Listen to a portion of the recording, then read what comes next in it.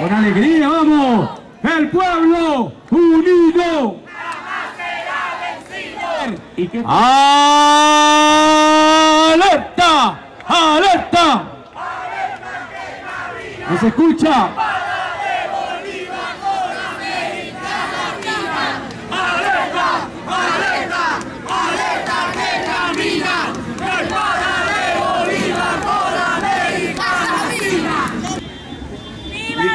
Combativo pueblo de Katia.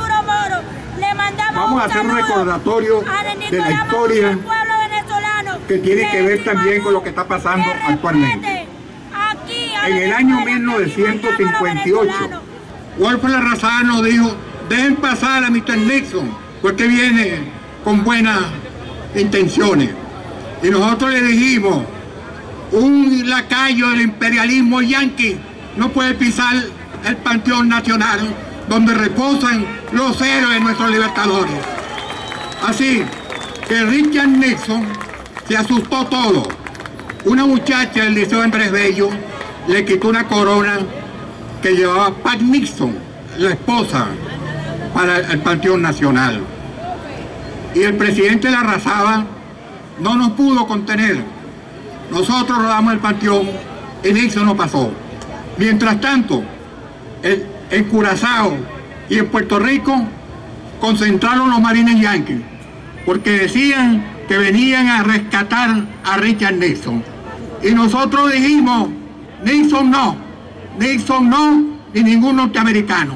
Él era el representante de Eisenhower que venía de la Segunda Guerra Mundial de masacrar muchos pueblos.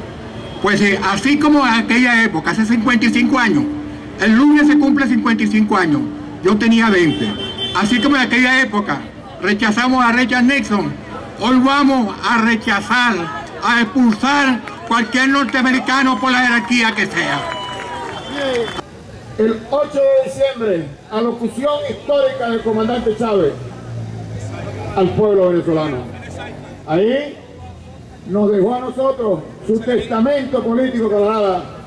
Unidad de los revolucionarios.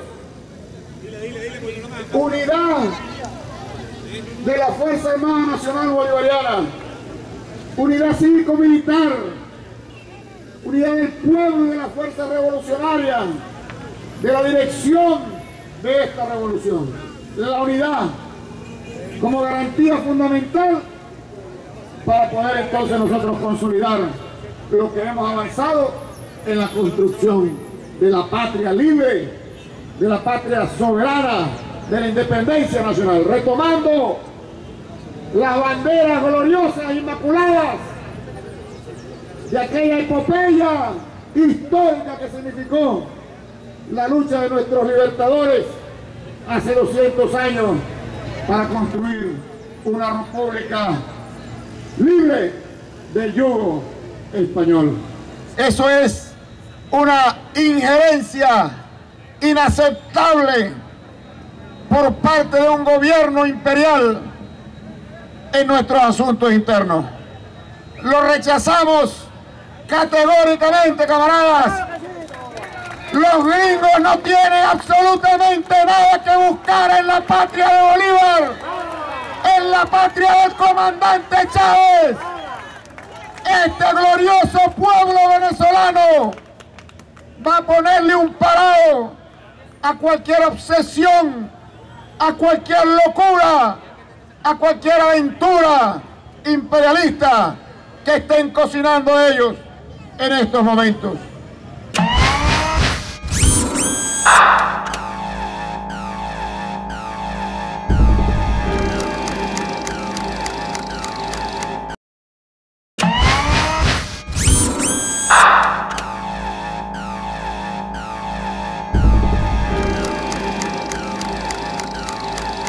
22 de julio, un mes después del comienzo de la invasión, los aviones alemanes emprendieron su primera ofensiva aérea sobre Moscú. Mirando las plazas y avenidas de la ciudad, el piloto veía lo que parecía ser los contornos de un edificio gubernamental o de una planta industrial. Este truco funcionó. Los pilotos alemanes tomaban erróneamente edificios pintados sobre el pavimento como si fueran verdaderos. Además, tenían que hacer maniobras para evadir un intenso fuego antiaéreo. Como resultado, lanzaban bombas sobre emplazamientos vacíos, Paralelamente, las instalaciones vitales eran camufladas con otros métodos insólitos. El enemigo lanzaba una enorme cantidad de bombas incendiarias. Su poder explosivo era débil, pero causaban incendios intensos, tan poderosos que podían traspasar los ladrillos. Había hombres de guardia cuyo trabajo consistía en quitar las bombas del tejado, ya que no podían ser dejadas en aquellos lugares. No utilizaban ningún tipo de tenazas para recogerlas, ya que si lo hacían así, habría perdido la destreza. En vez de eso, utilizaban solo guantes para recoger los explosivos y tirarlos a la tierra. Los que estaban en tierra las apagaban con arena o metían en barriles llenos de agua.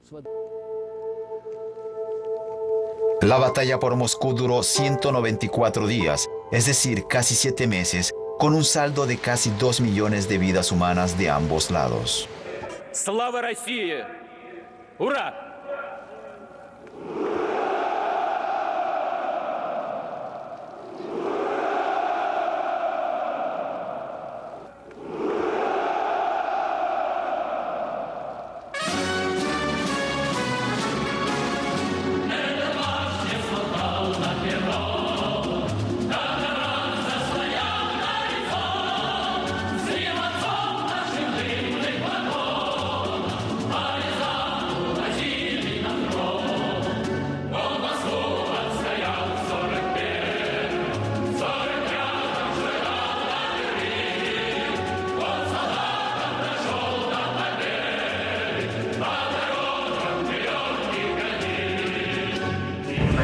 De 11.000 militares han desfilado por los históricos adoquines de la Plaza Roja y lo han hecho para conmemorar un año más la victoria de las tropas soviéticas sobre la Alemania nazi durante la Segunda Guerra Mundial.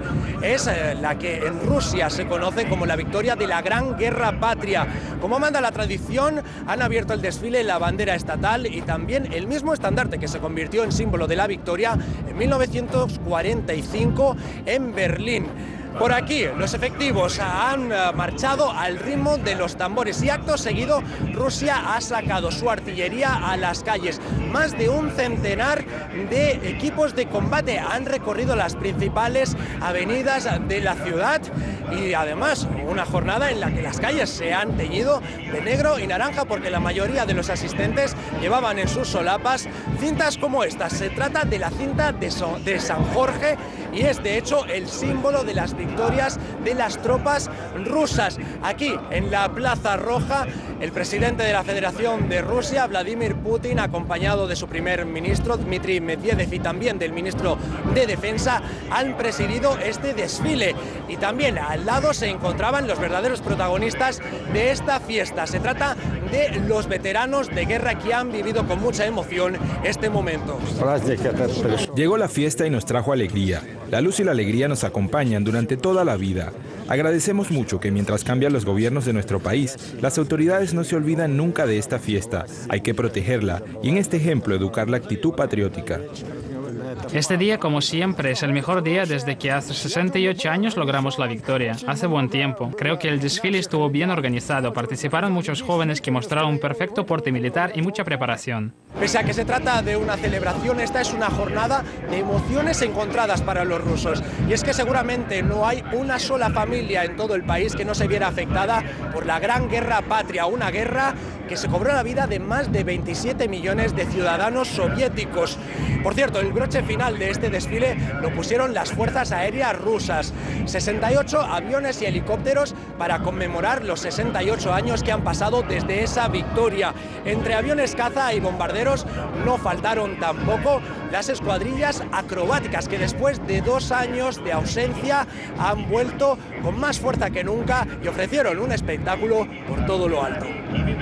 Así que mucha gente ha acudido precisamente a este lugar, a la colina Poklone, también ah, cerca del cual está situado el complejo memorial el Parque de la Victoria y así pueden rendir su homenaje, así pueden recordar a los veteranos, recordar su hazaña, sus sacrificios que hicieron para defender a su patria y también para liberar al mundo de la plaga de fascismo. Así que no solamente ah, en este lugar, sino en todo el Moscú, el ayuntamiento ha organizado diferentes eventos, ah, han puesto y han armado a las escenas donde están pasando los conciertos, además se han armado las pistas de baile donde suena la música de aquella época de los años 40 del siglo pasado para que los veteranos puedan recordar su juventud, recordar la alegría que sintieron al conocer que se rindieron las tropas hitlerianas. Así que también mucha gente está vistiendo las cintas de San Jorge para conmemorar este día y muchos eh, de, los, eh, de la gente que hemos visto regala las flores, aún a los más eh, chicos regalan las flores a los veteranos para que se sientan orgullosos de su hazaña. La verdad es que la gente ha formado auténticas colas para poder agradecer personalmente a los veteranos por sus sacrificios, para sacar fotos junto con ellos. Sin embargo, como han confesado a los mismos veteranos, para ellos esta fiesta es una fiesta con lágrimas en los ojos porque así, además, este día de sentir alegría enorme, recuerdan a los fallecidos en los campos de batalla en esa contienda con las tropas hitlerianas.